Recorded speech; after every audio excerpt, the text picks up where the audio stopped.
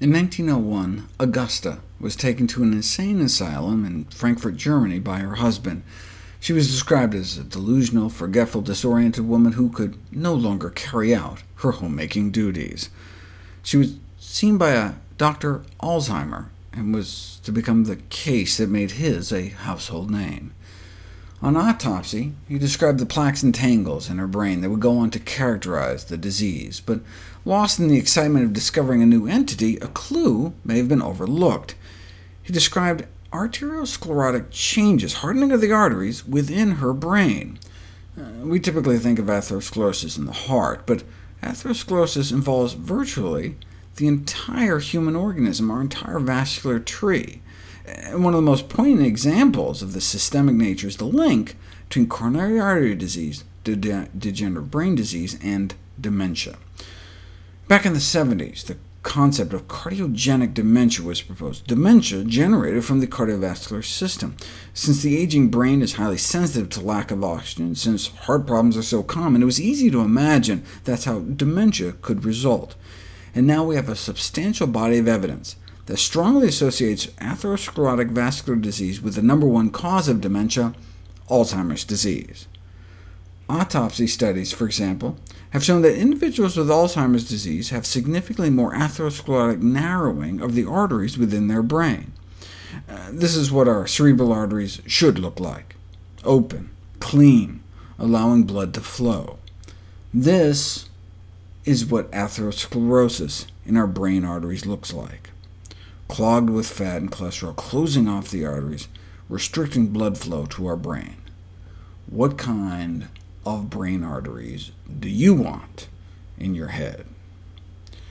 Normal resting cerebral blood flow. The amount of blood flow circulating within our brains is about a quart a minute, but we lose about a half percent a year, so by age 65 we may be down 15-20%, but this doesn't necessarily affect brain function as we have a built-in buffer. However, this age-related decline in cerebral blood flow can become critical to brain cell survival if an additional burden further lowers that flow.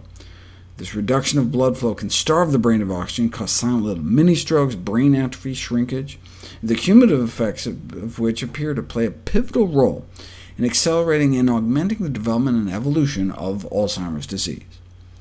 If you look at the amount of atherosclerosis in the arteries that specifically supply blood to critical memory and learning centers of the brain, this is the amount of severe atherosclerosis one sees in healthy, non-demented controls, compared to those with Alzheimer's disease. In light of such findings, some have even suggested the disease be reclassified as a vascular disorder. This is good news, though because atherosclerosis is potentially reversible. These findings were confirmed in two larger studies, over a thousand autopsies each, which found the same thing. Atherosclerosis in the brain is significantly more frequent and severe in those with Alzheimer's disease. This suggests that strategies proven to delay the progression of, of artery disease, like plant-based diets, may be useful in preventing or treating Alzheimer's disease Of course, autopsy studies are a little late for that, so to assess the impact of intracranial arterial narrowing on the progression from mild cognitive impairment to Alzheimer's disease, researchers followed 400 folks with cognitive impairment for four years, using CT angiography, special CAT scans to evaluate the amount of brain artery blockage. The cognition of those with the least atherosclerosis in their heads remained pretty stable over the years but those with more cholesterol buildup got worse, and those with the most blockage rapidly declined. And the same with the ability to carry out activities of daily living. And it doubled the progression to full-blown Alzheimer's disease.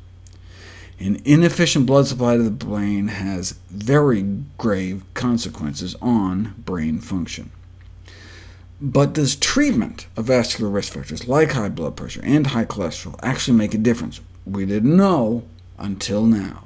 300 patients with Alzheimer's, and those with all their vascular risk factors treated showed significantly less decline, less kind of slowed progression of their disease than those who went untreated. It is said that the goal of medicine is to provide patients with hope. and when there is no hope with understanding? Well, for the first time in the history of this disorder, we have the chance to provide Alzheimer's patients with hope.